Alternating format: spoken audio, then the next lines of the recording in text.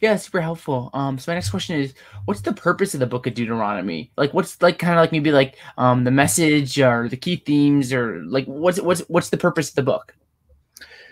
Yeah, I think uh, uh, the purpose of the book, um, I think, is it's it it is historically the the final sermon of uh, Moses before his death. He knows he's going to die. He knows he's not going to enter the promised land. They're on the edge of the promised land, overlooking it on the plains of Moab, um, Mount Nebo area, the north end of the Dead Sea. So it, it's Moses, if you like, recapitulating it, the key things and mm-hmm. in a way passing on the baton to to Joshua. Um, so but the book, I think, um, so so it it it brings together all the themes of the pen, the main themes of the Pentateuch, in my opinion. The one the one that's not quite so obvious, uh, just touched on here and there, would be the creation theme, but certainly sin, Abrahamic promises, sojourn in Egypt, Exodus, wilderness. They're all there as significant themes in Deuteronomy. So Moses and law. So Moses is drawing all of those things together, but he's preaching it. So unlike, say, the law given at Sinai itself, which is this is the law, uh, sort of information explanation. Moses is exhort is exhortation to keep the law. So it takes it a step further, more or less, mm. I, I, think. Um, but also, I think uh, there's a poignancy about the book because whilst entering the land will be new, they've failed before, and so that that I think is is the is a sort of critical thing about this sermon. Moses knows that they've failed. Uh, at the spies incident a generation before. All those adults have now died out in the wilderness. Now it's the children, basically. He's preaching to a group of people who are, with only one or two exceptions, under the age of 58. Mm. And um, and so he's um, he's he's exhorting them to, in a way, do what their parents didn't do. Most of us think we're better than our parents, um, but we're not really. We're we're morally the same uh, in general terms, and um, and so interestingly, Moses doesn't say you you guys you're better than your parents. You can do what they didn't do. He doesn't say that, but actually there's a there's a um, they're the same as their parents. So where they failed, they the parents failed. They could he could expect the children will fail. So he keeps drawing them to God, to God's faithfulness and power. And uh, that I think is the opening part of his sermon. Uh, so he's not just telling them what happened in the spies incident. Uh, some of them weren't born then, others were up to the age of 20 then, but he's preaching that incident so that they don't make the same mistake. And um, and and as they look forward to entering into a promised land that had been promised 600 years earlier to Abraham. So it's quite a significant event, basically. I think he he draws together, as does the Old Testament in general, and of course the New, uh, the themes of law and grace. Uh, so the law is premised on a relationship established by grace in the Old Testament. And, uh, you know, I'm the Lord your God who brought you out of the land of slavery. That's an act of grace. This now how, is how you respond to me. And, and so law is in response to grace. Grace is freely given. It's the same structure of relationship in the Old Testament as it is in the New Testament. Um, so that that's that's the situation. Maybe if I can just expand a little bit on mm -hmm.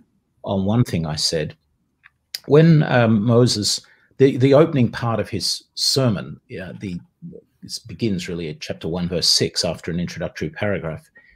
Uh, as he speaks to the people of Israel, about the spies incident. And, and he does this over the rest of chapter one, all of two, and pretty much all of three.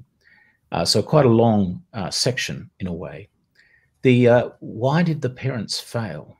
And um, the the key answer to that is is to do with the power and the faithfulness of God. So um, he he he recounts the fact that when the spies went into the land, the spies came back and said, these enemy in the land, they, they are tall and strong, and their cities are fortified. And um, but the people chickened out, let's say. So what happens next is Moses talks about different nations, uh, Edom, Moab, Ammon, and then uh, which Israel passes through, and, and then uh, Heshbon and, and um, Bashan, where they um, they conquer them immediately before crossing the Jordan. The way that those stories are told is to show that strong, tall enemies and fortified cities are no threat to God. God is more powerful. So, who do you trust? And if you trust God, then you will obey him by crossing the Jordan. Because if you don't trust God, you'd be mad to cross the Jordan. Um, but uh, so I think he's he's helping us see those sort of deep theological themes actually. Uh, that that if you trust in God, then obedience will follow. Um, Paul calls it the obedience of faith in um, Romans one, for example, and uh, and in Deuteronomy one, Moses, as he recounts their fa- the failure of the parents, says they rebelled, and a few verses later he said they did not trust, and the two go together in both testaments this sort of faith and obedience tied together. So how do you how do you counter that as a preacher? Because I'm a, I'm, I'm largely a preacher. I'm I'm more of a pastoral minister in a way than an academic.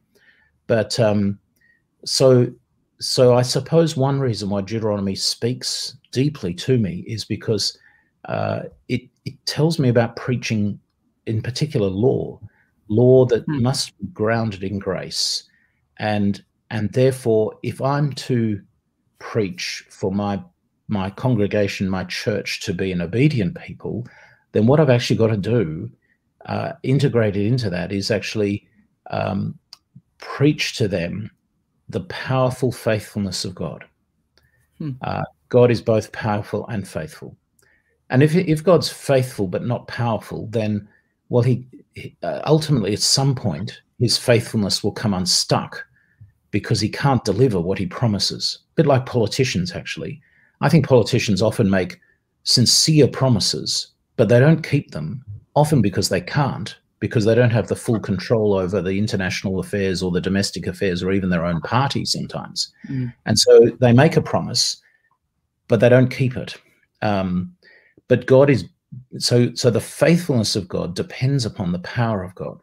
He's more powerful than tall, strong people and fortified cities. And he's faithful to the promises to Abraham to give land. And that's what Israel is to trust in. And if they trust in him, then they will cross the land and, and obey and, and conquer a, a, a strong enemy. Mm, mm, that's really good. Um, is there anything else you'd like to add, Paul, in terms of like key themes to the book, or do you think um, you've you've summed it up well? Is there anything you want to add? Well, I think a, a, famous verse in Deuteronomy, which points to a key theme, is uh, what's called the Shema, uh, which is a Hebrew word for hear, oh, well, hear, uh, listen, that is. Uh, so Shema Israel, hear, O Israel. It's a term that occurs a number of times in Deuteronomy, not just once. But the famous one is chapter 6, verse 4 and 5. so, hear, O Israel, the Lord your God, the Lord is one. Love the Lord your God with all your heart and all your soul and all your strength. And I think that um, uh, that that's a, a, an important theme. I think in Deuteronomy, it reminds us that that even in the Old Testament, the laws, many of which look very superficial, you know, pick up your neighbor's animal, don't wear, you know, transvestitism, for example, looking after birds' nests, and um, uh, you know, a whole range of sort of different things. Don't boil a young goat in its mother's milk. Mm-hmm. They look a bit sort of, um, you know, they can look a bit tedious in a way.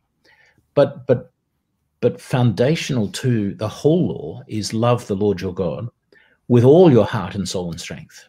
So we need to read the laws with sympathy, in my opinion, and uh, see them as good laws, as Psalm 19 celebrates, and um, and and see them as expressions of loving God with all your heart. Uh, related to that is all your heart. So in the ancient world, with just very rare exceptions, there was a heretic pharaoh uh, because he only believed, he was monotheistic, and they they thought he was a heretic. But Judaism, um, the Old Testament Israel, being monotheistic, was astonishingly rare in the ancient world, and um, so we these days Islam as well as Judaism and Christianity are monotheistic religions, but in the ancient world, Judaism was sort of you know so different. Mm. So the Egyptians had many gods. Uh, the Canaanites had gods, Babylonians and Assyrians, and everyone had lots of gods. So the temptation was always oh, you've got your God, Jehovah, Yahweh, uh, however you call it, uh, or him, and um, well, we can add him in. We can have more gods. Mm. And for Israel, the great temptation always was to just add gods um, in. So to love the Lord your God, Yahweh your God, with all your heart and soul and strength, uh, that's quite a challenge in the ancient world.